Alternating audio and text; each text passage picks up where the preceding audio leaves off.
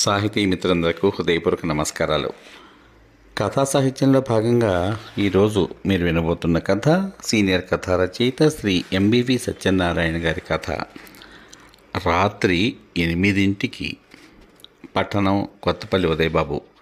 ఈ కథ స్వాతి సపర్వారి పత్రిక పదహారు ఎనిమిది పంతొమ్మిది వందల ఎనభై ఐదవ సంవత్సరంలో ప్రచురితం.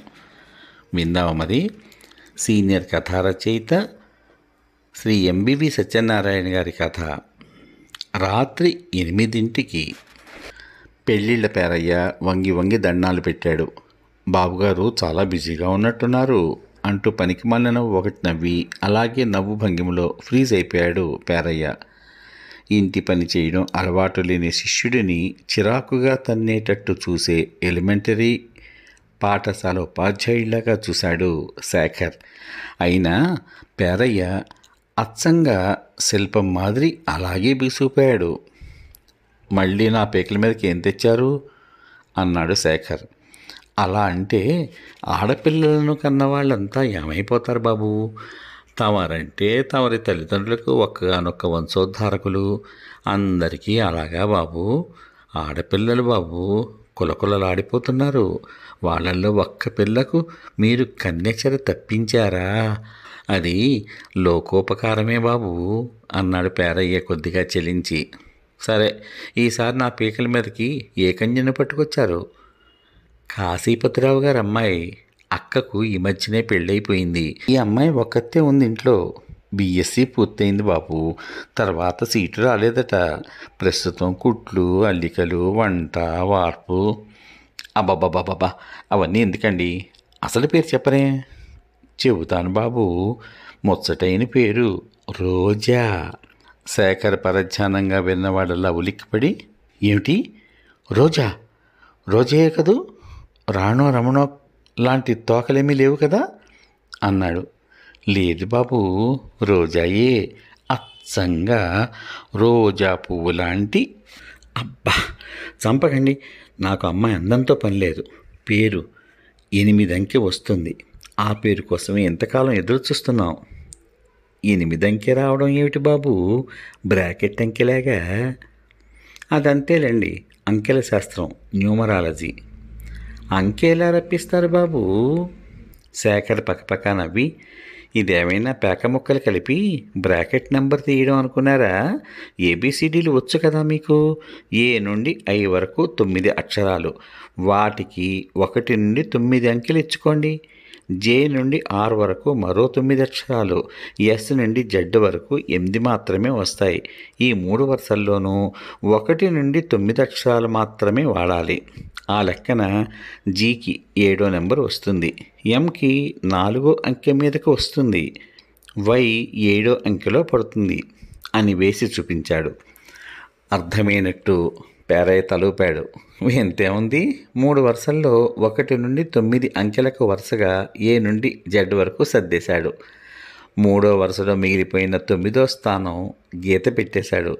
ఇప్పుడు శేఖర్కి ఇంగ్లీష్లో ఎస్ఈకే హెచ్ఏఆర్ రాసి పైన ఉన్న నెంబర్ ప్రకారం అంకెలు వేస్తాను. ఆ లెక్కన ఒకటి ప్లస్ ఐదు ప్లస్ రెండు ప్లస్ ఎనిమిది ప్లస్ ఒకటి ప్లస్ తొమ్మిది వస్తాయి. ఇరవై ఆరు వస్తుంది. ఆ అంకెలు కూడామన్నమాట. ఇరవై ఆరులో రెండు ఆరు తిరిగి కూడండి ఎనిమిది వస్తుంది. నా అదృష్ట సంఖ్య ఎనిమిది. లాటరీ టికెట్ కొని నెంబర్లు ఇలా సరి చూసుకుని ఎనిమిది వచ్చేలా కూడుకోవాలి. బాగుంది బాబు. ఆ లెక్కన పేరయ్యకి అంకెలు కట్టండి బాబు. తర్వాత ఇప్పుడు రోజా కంకి కట్టాలి. పేరయ్య ముఖంలో వెలుగు కనిపించింది. అబ్బాయి బుట్టలో పడుతున్నాడు. అందుకు సందేహం లేదు. ఇంతకంటే రుజువేమిటి? పనికి మాలిన పద్ధతిలో అంకెలు సర్దుకోవాలట. ఇంకా నయం. అమ్మాయిని పెళ్ళికి ముందే పక్కలో సర్దుకుంటాననలేదు. తనకు కూడా కొన్ని చాదస్తాలు ఉన్నాయి కానీ వాటిని తాను అనుసరించడు. వాటిని పెళ్ళి సంబంధాల కోసం వచ్చిన వాళ్ళ మీద రుద్ది సొమ్ము చేసుకుంటాడు. కానీ బుడ్డోడు ఎలా మొగ్గలు వేస్తాడో చూద్దాం. మీకు అర్థం కాలేనట్టుంది ఆలోచనలో పడ్డారు అన్నాడు శేఖర్. అబ్బే అదేం కాదు బాబు ఇప్పుడు ఆ రోజాకి అంకెలు చాలకపోతే? శేఖర్ కులాసాగా నవ్వాడు. పేరయ్య గారు ఎనిమిది వచ్చే పేర్లు నా దగ్గర రెండు వేల ఆరున్నాయి. అవి నా అంకెకు అదృష్టం తెచ్చే పేర్లు. రెండు వేల ఆరు అంటే రెండు ప్లస్ సున్నా ప్లస్ సున్నా ప్లస్ ఆరు. మొత్తం ఎనిమిది వస్తుంది. నాకు ఎటు చూసినా ఎనిమిది ఉండాలి. నన్ను పెళ్ళి చేసుకో గోరే అమ్మాయికి సైతం అదృష్ట సంఖ్య ఎనిమిదే ఉండాలి. మరో రహస్యం చెప్పనా? నా దగ్గరున్న పేర్లలో రోజా కూడా ఉంది. రోజా నాకు బాగా నచ్చిన పేరు. కేవలం మీకు నిర్ధారణ కోసం అంకెలు కూడతాను అన్నాడు. తర్వాత ఆర్ఓజేఏ అక్షరాలు రాసి వాటి కింద తొమ్మిది ప్లస్ ఆరు ప్లస్ ఒకటి ప్లస్ ఒకటి అని వేసి కూడాడు. పదిహేడు వచ్చింది. తర్వాత పదిహేడులోని ఒకటి ఏడు కూడాడు. ఎనిమిది వేసి కలం గిరవాటు పెట్టాడు. అమ్మాయి నచ్చింది. తర్వాత విషయాలకు మా పేరెంట్స్ అన్నాడు శేఖర్. పేరయ్య మొహం చేటంతైంది. అతని కళ్ళు మిలమిలలాడుతున్నాయి. ఆ రోజు సాయంత్రమే అమ్మాయిని చూసుకోవడానికి మగపిల్లవాడు అతడి తరపున మంది మార్బలం వెరసి ఎనిమిది మంది బయలుదేరారు. శేఖర్ తండ్రి గునుస్తూనే ఉన్నాడు. ఎంతమంది వందలా ఎందుకురా? అన్నాడు చివరికి. నాన్న ఎనిమిది నాకు అచ్చి వచ్చిన అంకె మీరు కాదనొద్దు అన్నాడు శేఖర్. నీకు ఈ అంకెలు పిచ్చి వదలకపోతే కష్టం రా నీ అదృష్ట సంఖ్యకి పెళ్ళికి వెళ్ళే వారి సంఖ్యకు సంబంధం ఏమిటిరే? సంబంధం చూసుకోవడానికి ఇంతమంది వెళ్తే నవ్వరా? ఎందుకు నవ్వుతారు నాన్న? నెహ్రూ గారు ఉన్నారనుకో ఆయనకి అక్షరాలు కూడితే మూడు వస్తుంది. ఆయన భార్య కమల గారికి అంకెలు కూడినా మూడే వస్తుంది. వాళ్ళ సంసారం చూడు ఎంత ఉదాత్తంగా ఉన్నతంగా సాగిందో. ప్రపంచం గుర్తించిన ఇందిరను కన్నారు వాళ్ళు. నెహ్రూ తరమే ఈ దేశాన్ని పాలిస్తోంది. పాలించడానికి ఇదేమైనా వాళ్ళ సొంత ఆస్తి అనుకుంటున్నావా? కాదు వాళ్ళకు అంకెలు సరిగిపోయి అంత బలాన్ని ఇచ్చాయి అంటున్నాను. ఎలా సరిపోయాయి? ఇందరికీ పది వస్తుంది. తిరిగి కూడితే ఒకటి ప్లస్ సున్నా ఈజ్ ఈక్వల్ టు ఒకటి. ఈ లెక్కన ఫిరోజ్కి మూడు వస్తుంది. అందుకే నాన్న వాళ్ళ సంసారం చివరిదాకా నడవలేదు. రాజీవ్కి ఆరు సోనియాకి నాలుగు వస్తాయి. సంసారం నడుస్తోంది కదా. రెండూ సరి సంఖ్యలే అంటావు కాబోలు. సరిగ్గా అంతేనన్నా సంజయ్కి ఏడు మేనకకు తొమ్మిది వచ్చాయి. వాళ్ళ సంసారం అంతే కదా?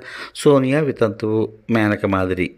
నీ మొహం రాజీవ్కి సోనియాకి సరి సంఖ్యలు కాబట్టి సరిపోయాయని సంజయ్కి మేనకకి బేసి సంఖ్యలు కాబట్టి సరిపోలేదని తగినంత బలం ఇవ్వలేదని అంటావు. అవునా? నాన్న నీకు కూడా న్యూమరాలజీ బాగా పట్టుపట్టింది. నీ ఊహలు తప్పు అని చెప్పడం కోసం నేర్చుకుంటున్నానురా.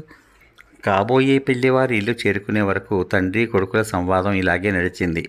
ఎనిమిది మందికి ఘనంగా స్వాగత సత్కారాలు జరిగాయి. అమ్మాయి తరపు వాళ్ళతోనూ అబ్బాయి తరపు వాళ్ళతోనూ అమ్మాయి ఇంటి హాలు నిండిపోయింది. పేరయ్య అట్టహాసం చేస్తూనే ఉన్నాడు.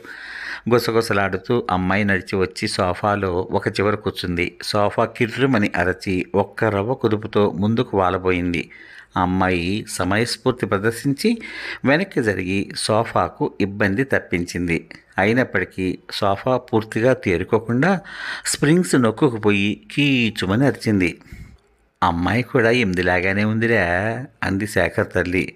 కానీ మన వాడు రివటలాగా ఉన్నాడు ఒకటిలాగా అన్నాడు తండ్రి. శేఖర్ వీళ్ళ మాటలు ఈ చెవిన విని ఆ చెవిని వదిలేశాడు. అతడి రెటీనాల నిండా అమ్మాయి చిత్రం ప్రింట్ అవుతోంది. మీ పేరు? అడిగాడు శేఖర్. ఆమె సిగ్గుపడలేదు. రోజా అంది. ఎంఎస్సి చదవలేకపోయారా? ఆమె తటపటాయించి నాకు పోస్ట్ గ్రాడ్యుయేషన్ అచ్చి రాదు అంది. పేరయ్య ఇద్దరిని ఎగాదిగా చూస్తున్నాడు. రోజా తర్ఫీదు తప్పని మంచి పిల్ల. చదువు వచ్చిరాదా అదేమిటి? న్యూమరాలజిస్ట్ చెప్పాడు నా అదృష్ట సంఖ్యకు సైన్స్ పీజీ పనికిరాదట మానేశాను. సీటు రాక కాదా? సీటుదేముంది వెయ్యి అయ్యే చోట మరో తొమ్మిది వేలు అవుతుంది. డబ్బు పారేస్తే ఈ దేశంలో రానిదేముంది? శేఖర్కి ముచ్చట వేసింది. రోజాకి కూడా తనకు లాగానే అంకెల శాస్త్రం పట్ల భక్తి విశ్వాసాలు ఉన్నాయి అది తనకు మరో ప్లస్ పాయింట్. అమ్మాయి నీకు తగినదేరా అంకిలి పిచ్చిది గుసగుసలాడాడు తండ్రి. అంతలావుగా ఉన్నారు? ఏం తింటారు రోజు? రోజా? అడిగాడు శేఖర్. ఎనిమిది ఇడ్లీలు ఎనిమిది చాక్లెట్లు ఎనిమిది అరటిపళ్ళు ఎనిమిది సార్లు మంచినీళ్ళు ఎనిమిది ముద్దల అన్నం ఎనిమిది చెంచాల కూర పప్పు ఎనిమిది గరిటెల సాంబారు. శేఖర్ ముచ్చటగా వింటున్నాడు ఎనిమిది పురాణం. ఆ తర్వాత కట్నం ప్రసక్తి వచ్చింది. రోజా తండ్రి ఇరవై వేలు ఇస్తానని అన్ని లాంఛనాలు చూస్తానని ప్రకటించాడు. పేరయ్య సదరు లాంఛనాలను విడమర్చి చెప్పాడు. నాకు ఇరవై ఆరు వేలు కావాలి ఆరు రెండు కూడితే ఎనిమిది రావాలి అన్నాడు శేఖర్. ఎనిమిది రావాలంటే పదిహేడు వేలు ఇచ్చినా చాలు కదా నా పేరు అక్షరాల విలువ పదిహేడు కూడాను అంది రోజా. శేఖర్ నోరు మెదపలేకపోయాడు. తల్లి అందించింది. నీ మాట నిజమే కానీ మీ నాన్నగారి ఇరవైకి వచ్చినప్పుడు ఇక వెనక్కి రాకూడదు. చూడమ్మా అయితే ఇరవై ఆరు తప్పితే ముప్పై ఐదు అంది తల్లి. రోజా రాజీకి వచ్చేసింది. లాంఛనాలు కొన్ని తగ్గించుకున్న తర్వాత శాఖర రేటు ఇరవై ఆరు వద్ద నిర్ణయం అయిపోయింది పెళ్ళి తారీఖు ఎనిమిది ముహూర్తం రాత్రి ఎనిమిది గంటల ఎనిమిది నిమిషాలకి. పందిట్లో ఎనిమిది కానీ పదిహేడు కానీ విద్యుత్ దీపాలు అమర్చాలి.